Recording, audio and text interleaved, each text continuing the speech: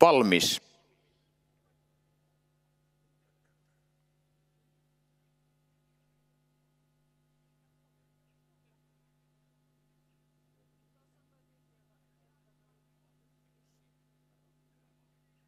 Yksi. Kaksi. Lähtö hyväksytään hyvin liikkeelle kolme palopäällikkö säkeä kärkipaikan, mutta takamatkalta seitsemän viree tuli on saanut loistavan startin ja johtavan rinnalle hakemaan kärkipaikkaan, kun mennään ensimmäiseen kaarteeseen. Yksi Kopsahovin humma tulee sisärataa sen eteen kääntää nyt viisi Joihovi johtavan kantaan, kun johtopaikkaa puolustaa kolme palopäällikkö. Seitsemän viree tuli, Tanja Länsimäki on sen rinnalla, Anna Suliin on palopäällikön rattailla ja sitten enemmän väre Joihovilla johtavan kannassa. Ja sitten onkin jo melkein parikymmentä metriä matkaa neljä liinan muisto Niina Skinnari rinnalla on yksi Kopsahovin humma. Mennään ensimmäistä kertaa takasuoralle. Ja kolme palopäällikkö jatkaa johtopaikalla ja se avaa ensimmäiset 500 metriä aikaan 33,0. Nyt laukkaa johtava rinnalta seitsemän Vire tuli jo puolitoista kierrosta matkaa maaliin viisi. Joihovi jatkaa johtavan takana. Neljä liinan muisto on tavoittanut kärki kaksikon. Toista rataa tulee yksi Kopsahovin humma, Saara Sihvonen, 1400 metriä matkaa maaliin, sitä seuraa kahdeksan Tosivoima, Miia Salminen, sitten kymmenisen metriä rakoa, yhdeksän Kemppeli, Liisa Nummi. Hylätään seitsemän vireä tuli Tarja Länsimäki, pitkä laukka numero seitsemän, juoksu hylätty. Jeitusuorelle kaarutaan ravinaisten SM-lähdössä ja johtopaikkaa pitää numero kolme palopäällikkö viisi Joihovi on johtavan kannoilla. Ja tuhat metriä ravataan aikaan 32,5 tasaista on menty. Viimeinen kierros käynnistyy ja siellä hekuttaa kolmatta kahdeksan tosivoima kohti kärkeä sille vastaa yksi Kopsahovin humma. Johtavaa seuraa siis viisi Joihovi, kolmas sisällä neljä Liina Muisto ja nyt kahdeksan tosivoima tyytyy toiseen pariin ulos numeron yksi Kopsahovin humma taakse. Yhdeksän Kemppeli myöskin mukaan pääporukkaan, se kolmanteen ulos. Paljon on rakaa numeron seitsemän Virre Tuli, Tarja Länsimäki ja sen rinnalla puolestaan sitten kuusi Muroli Susanna Klemola.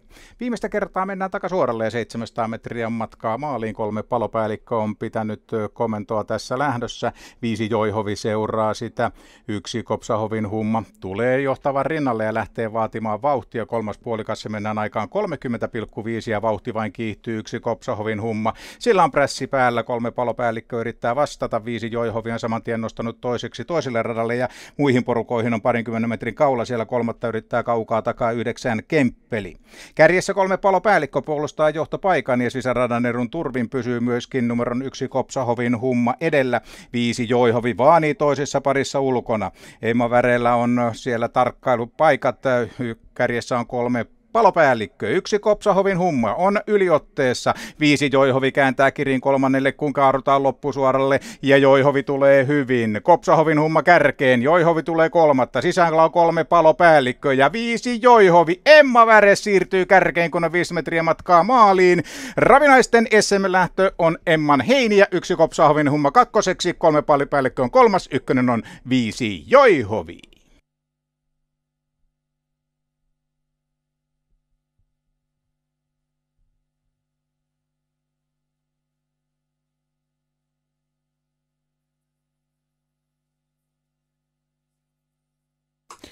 Viimeinen puolikas Ravenaisten SM-lähtö on 28.5. 10 minuuttia nyt aikaa toisen lähdön esittelyyn.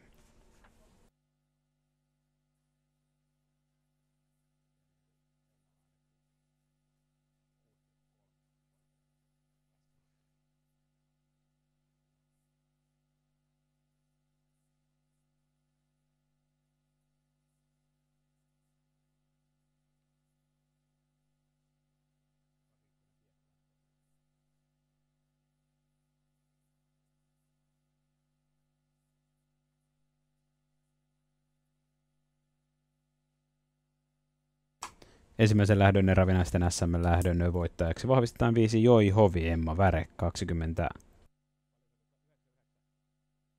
29.9 voitto tulos.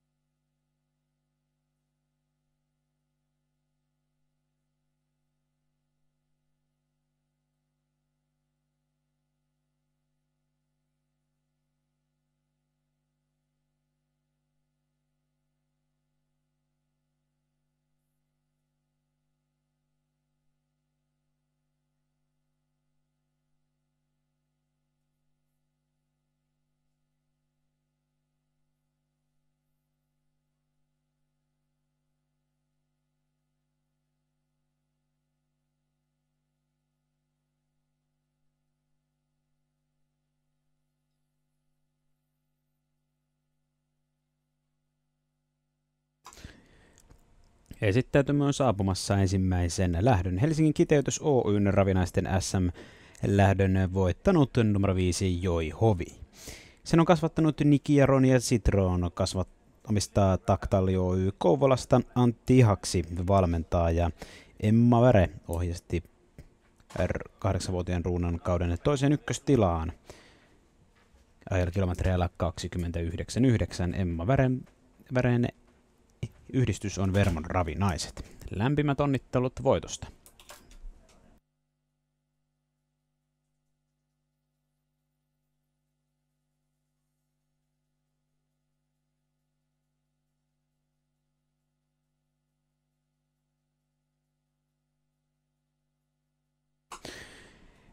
Ensimmäisen lähdön sponsoroi auktorisoitu tilitoimisto Helsingin Kiteytys Oy, joka jo 35 vuoden ajan on tarjonnut taloushallintopalveluja pääkaupunkiseudulla ja omaa kokemusta myös kasvattajien, ravitallien ja hevoskimppojen kirjanpidoista. Voittaja onnittelemassa yrityksen omistajat Kirsi ja Mika Anttalainen sekä Vermon ravinaisten puheenjohtaja Mario Saastamoinen.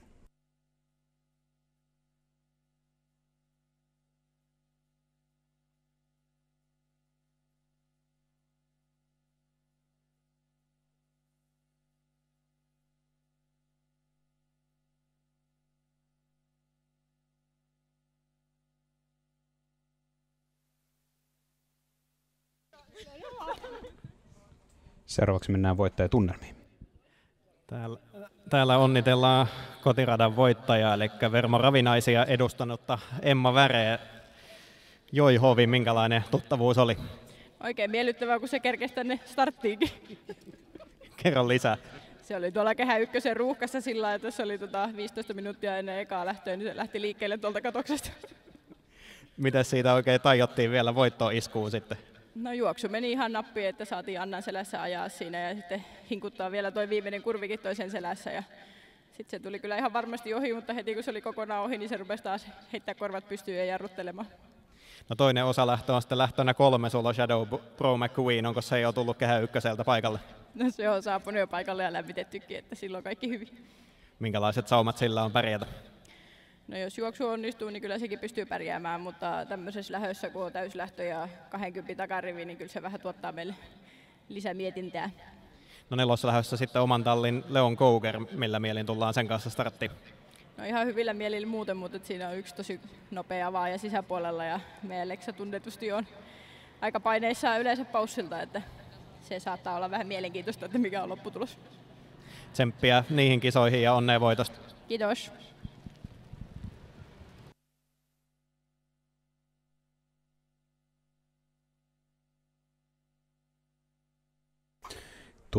Tulojärjestys ensimmäiseen lähtöön kuuluu viisi Joihovi, yksi Kopsahovin Humma, kolme Palopäällikkö, viisi, yksi, kolme ensimmäisen lähdön tulojärjestys.